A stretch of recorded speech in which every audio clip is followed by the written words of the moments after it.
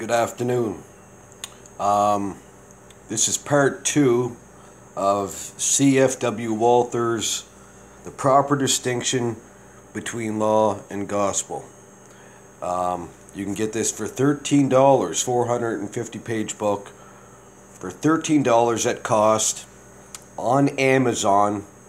Um, it's published by Just and Sinner Publications, uh, Dr. Pastor Jordan Cooper, who's also has a great channel um, on YouTube, Introduction to Lutheranism and Conference Speaking, and, and many, many videos. But he puts this out at, at cost $13 at Amazon, or you can check him out um, at justandsinner.com.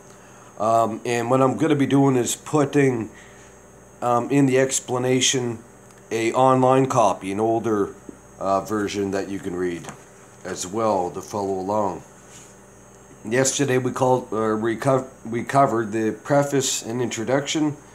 Today is first evening lecture, September 12th, 1884. My dear friends, if you are to become efficient teachers in our churches, in schools, it is a matter of indispensable necessity that you have a most minute knowledge of all doctrines of the Christian revelation. However, having achieved such knowledge, you have not yet attained all that is needed. What you needed over above your knowledge of the doctrines is that you know how to apply them correctly. You must not only have an appre- apprehension of the doctrines in your intellect, but all of them must have entered deeply into your heart, and there manifested their divine and heavenly power. All these doctrines must have become so precious, so valuable, so dear to you that you cannot but profess with a glowing heart, in the words of Paul. We believe, therefore, we have spoken. And in the words of all the apostles, we cannot but speak the things which we have heard. You, uh, you have indeed not seen the things which your physical eyes or heard them with your physical ears, like the apostles, but you ought to have an experience with them with your spiritual eyes and ears. While in my dogmatic lectures I aim to ground you in every doctrine that um, uh, and make you certain of it, I have designed these evening lectures on Fridays for making you practical theologians. I wish to talk the Christian doctrine into your hearts, enabling you in your future calling to come forward as living witnesses with a demonstration of the Spirit and of power. I do not want you to stand in the pulpits like lifeless statues but to speak with confidence and with cheerful courage, offer, uh, offer help where help is needed. This is very important. Watch this. Now, all of the doctrines, the foremost and most important is the doctrine of justification. However, immediately following upon it, as the second in importance, is how law and gospel are to be divided. It's crucial. The distinction between law and gospel shall now claim our attention and form the subject of our earnest study.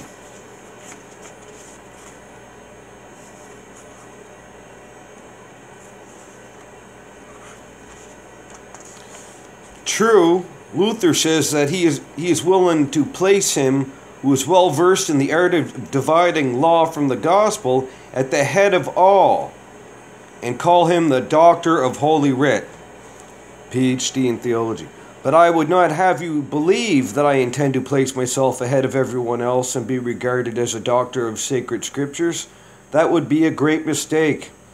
I admit that people sometimes call me a doctor of theology, but for myself, I rather wish to remain a humble remain a humble disciple and sit at the feet of our Dr. Luther to learn this doctrine from him, even as he learned it from the apostles and prophets.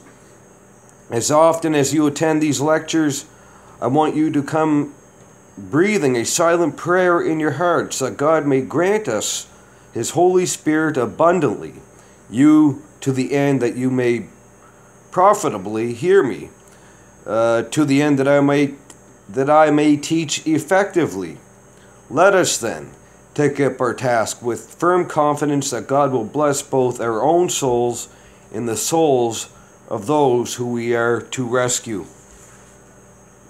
Comparing Holy Scripture with other writings, we observe that no book is apparently so full of contradictions as the Bible, and that not only in minor points but in principal matter, in the doctrine how we may come to God and be saved. In one, in one place, the Bible offers forgiveness to all sinners. In another place, forgiveness of sins is withheld from sinners.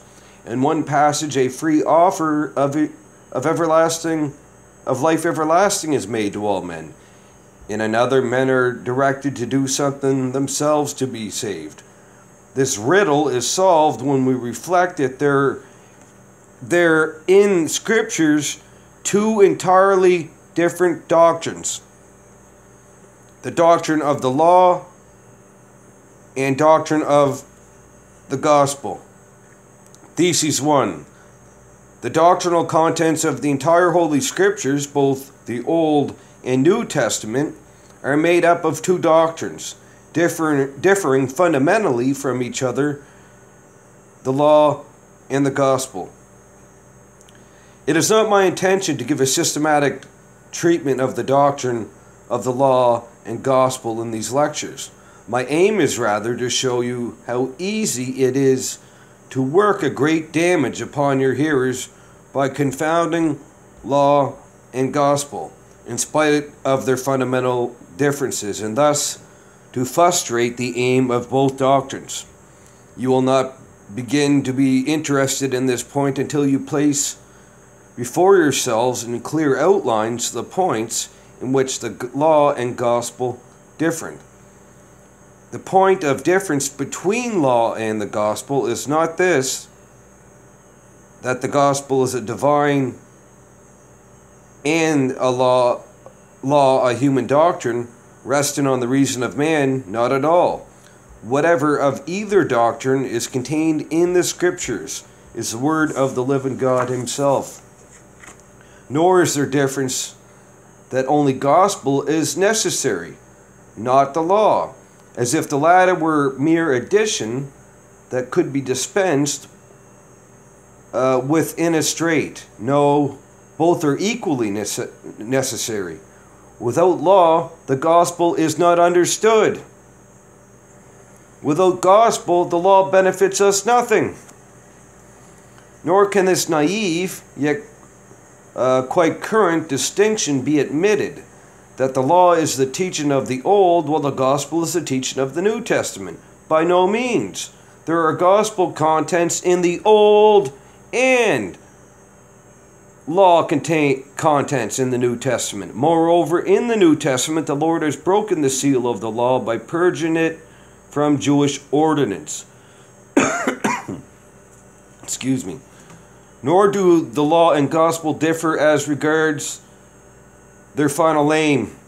As through the gospel aimed at men's salvation, the law at men's condemnation.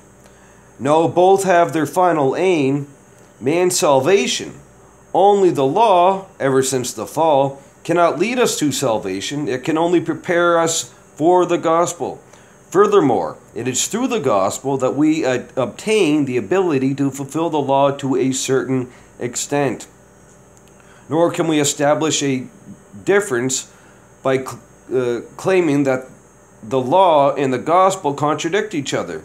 There is no contradictions in Scripture. Each is distinct from the other, but both are in the most perfect harmony with one another.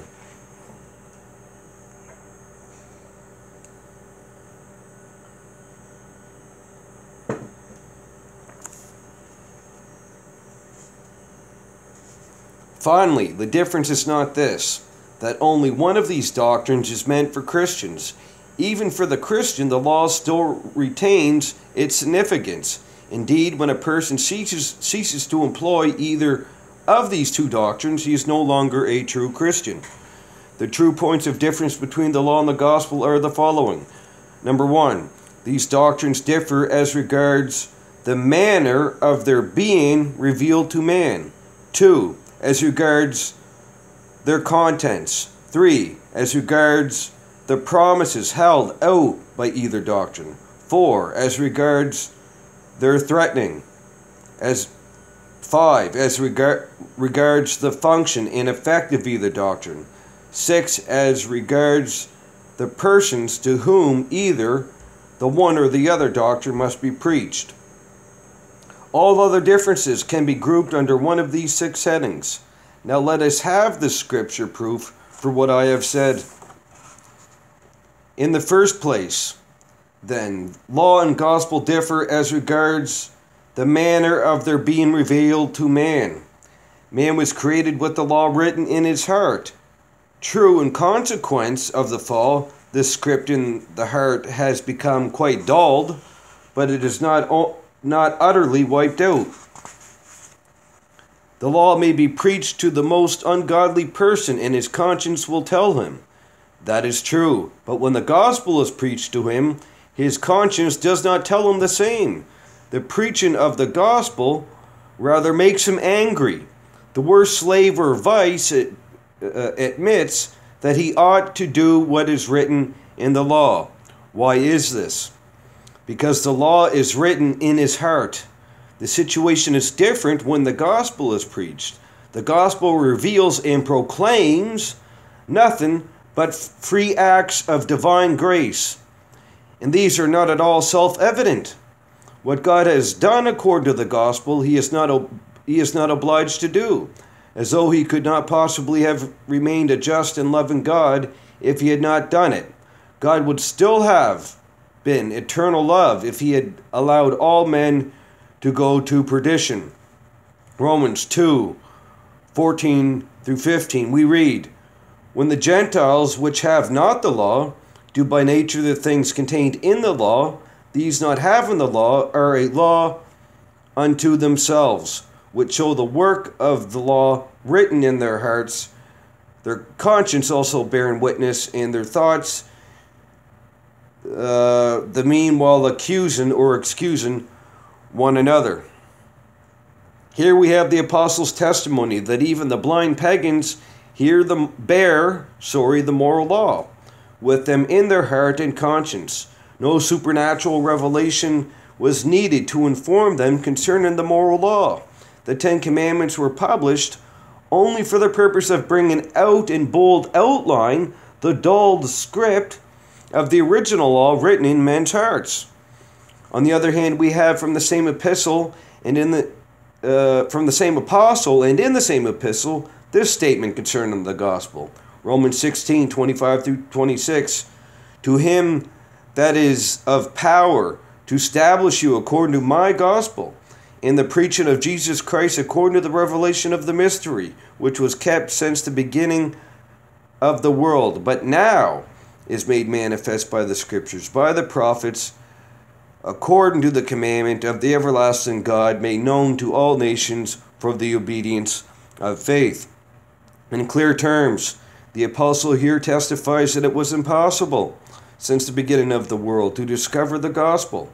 It is because it became known only through an act of the Holy Spirit, who inspired men to write its message. Try and realize the important distinction. All religions contain portions of law. Some of the heathen, by their knowledge of the law, have advanced so far that they have perceived the necessity of an inner cleansing of the soul, a purification of thoughts and desires but of the gospel, not a particle is found anywhere except in the Christian religion.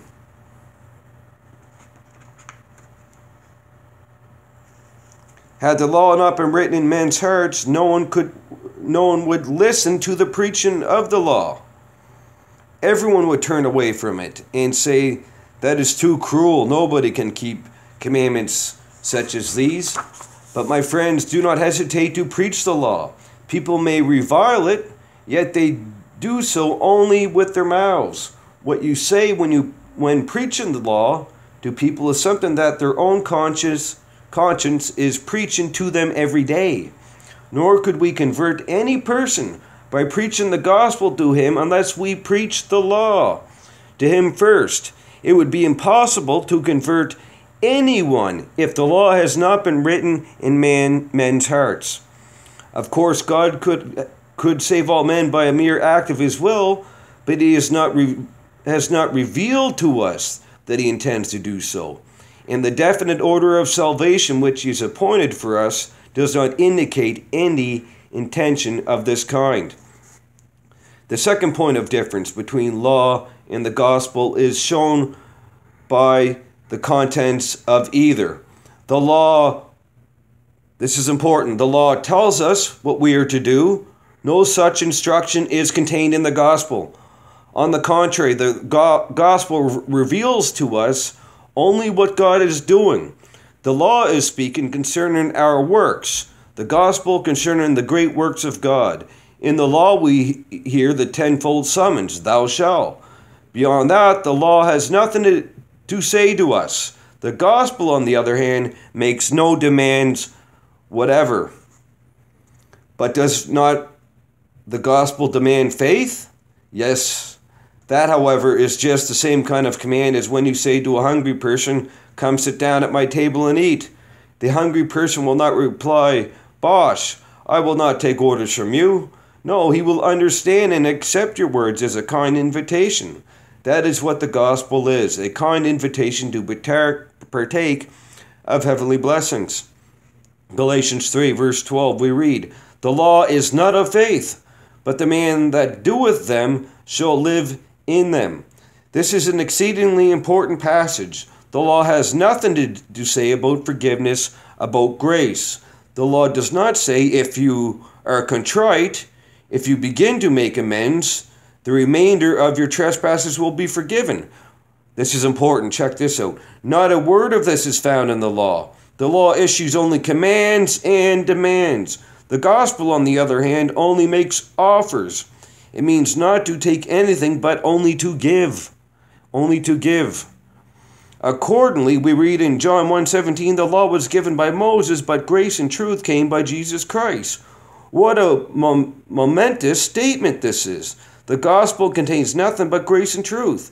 When reading the law, pondering it, and measuring our conduct, conduct against its teachings, we are terrified by the multitude of demands which it makes upon us.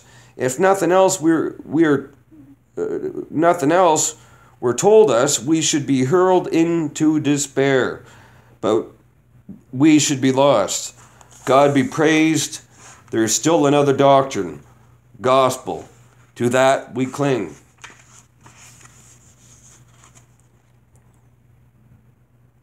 Uh, this is a good section as well. Uh, law and gospel differ in the third place by reason of their promises.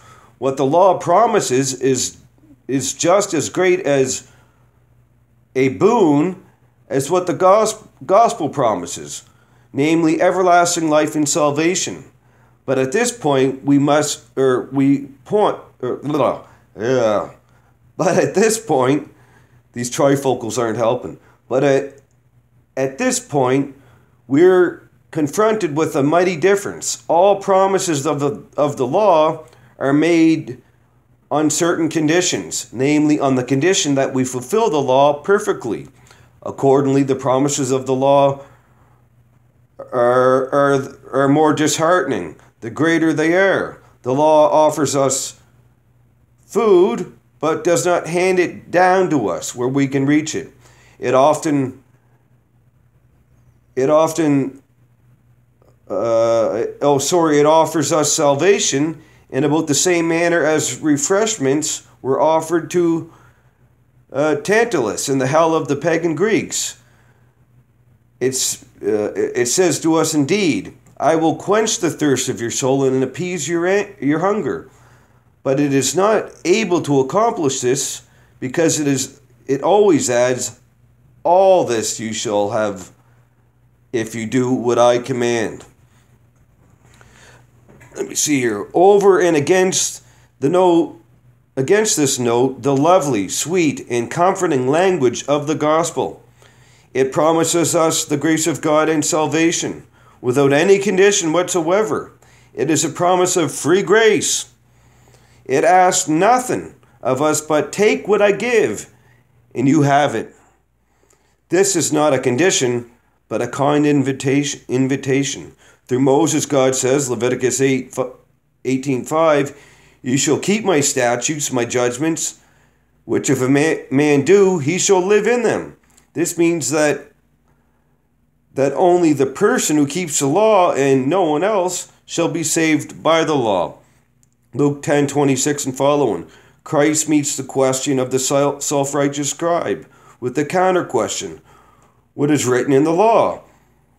How readest thou? The scribe answers correctly Thou shalt love the, love the Lord thy God with all thy heart, with all thy soul, with all thy, all thy strength, and with all thy mind, and thy neighbor as thyself. And now Christ says to him, This do, and thou shalt live. The Lord on this occasion testified that if salvation is to come by way of law, only he who fulfills the law can obtain it. By the way, we are not to think that to those who do the will of God, salvation must come as a reward of their merit. By no means. Their salvation too would be owing to the goodness of God. But to return to our discussion, uh, the, after, the aforementioned condition which is attached to the law hurls us into despair. On a certain occasion, when the Lord wished to instruct the disciples as to what they must preach, he says, Go into all the world and preach the gospel to every creature. He that believeth is and is baptized shall be saved. Mark 16, 15 through 16. This shows us no condition whatever is attached to the gospel. It is the promise of grace. Furthermore, we read Romans 3, 22 through 24. There is no difference. For all have sinned and fallen short of the glory of God, being justified freely by his grace through the redemption that is in Christ Jesus. And again, Ephesians 2 8 and 9 By grace are you saved through faith, and that not of yourselves. It is the gift of God, not of works, lest any man should boast. Unconditional promises of grace and salvation, that is what we find in the gospel. Verily, a precious difference. When law has laid us low, we, are cheerf- we can cheerfully raise our heads again because besides the law, we have another doctrine which proposes to us no demands of any kind. Here's a, here's a, a good part here, a good quote here. We're to ask Christ, what is expected of me in order that I might that I may be saved? He would answer, No works. I have done all the works that had to be done. You need not drink one drop of the cup that I had to drink. That's the cup of God's wrath. Beautiful, beautiful. A person entering fully into the meaning of this fact must be moved to leap forever for very for very joy that these glad tidings have been brought to him. A person who, in spite of this message, continues to be despondent and muses, I'm an abominable man, there is no forgiveness for me, does nothing less than reject the gospel, reject Christ.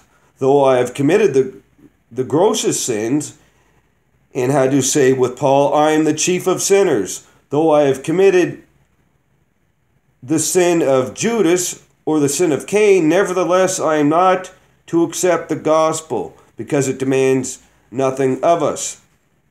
The fourth difference between law and the gospel relates to threats. The gospel contains no threats at all, only words of consolation. Wherever in Scripture you, come across a threat, you may be assured that this passage belongs in law. This is important. I'm going to read this again. The fourth difference between law and the gospel relates to threats. The gospel contains no threats at all, but only words of consolation. Wherever in script wherever in Scripture you come across a threat, you may be assured that that passage belongs to the law. He would indeed be a blessed person who could fully realize this comforting truth. The Holy Spirit produces the knowledge wherever it exists. exists. Without the Holy Ghost, this knowledge cannot be attained. Every person remains an unbeliever unless the Holy Ghost works this knowledge in him. However, we are not to imagine that the gospel makes men secure because it has no threats to hurl at him. On the contrary, the gospel removes from believers the, desire to sin. The law, on the other hand, is nothing but threats. As Abraham sent Hagar away into the desert with a loaf of bread and a jug of water, so the law hands out us a piece of bread and then threat and thrusts us into a desert. Deuteronomy 27 26. God says through Moses, Cursed be he that confirmeth not all the words of the law to do them. And all the people shall say, Amen. Indeed, man is invited by the law to pronounce a curse upon himself. Only a person engulfed by infernal darkness can believe that the law will give him no trouble.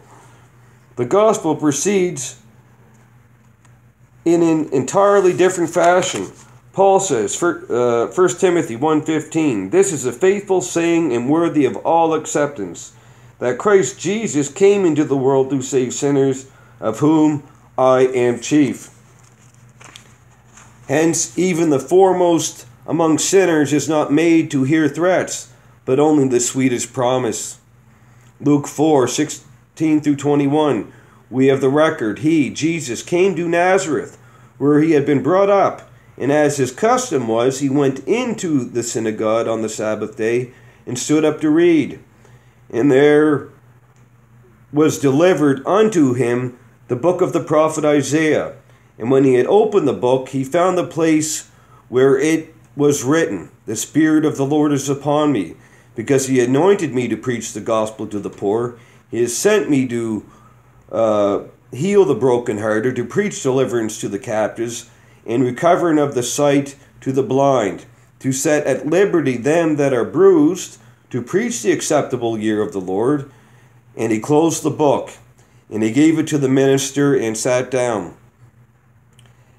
And the eyes of all of them were that were in the synagogue were fa- fastened on him, and he began to say to them, This day is the scripture fulfilled in your ears. On this occasion, the Lord uh, announced the contents of his doctrine or of the gospel. He meant to say, I am not come to bring a new law. I have not come to bring a new law. I proclaim the gospel. Happy the man who realizes this fact. May God help us all to attain this knowledge. That is the first evening lecture. And I will put the link uh, in the bottom uh, that you can follow along. Uh, it's uh, an older uh, an older version of the book, but as I said, you can get that for thirteen dollars um, at cost on Amazon. Um, and also, I'm going to put the uh, link uh, uh, um, from my blog um, that I just started up, Justified and Sinner. blogspot.com. It's dedicated to the proclamation of the gospel and the study of soteriology, the study of salvation from a Lutheran Reformation perspective. God bless, guys.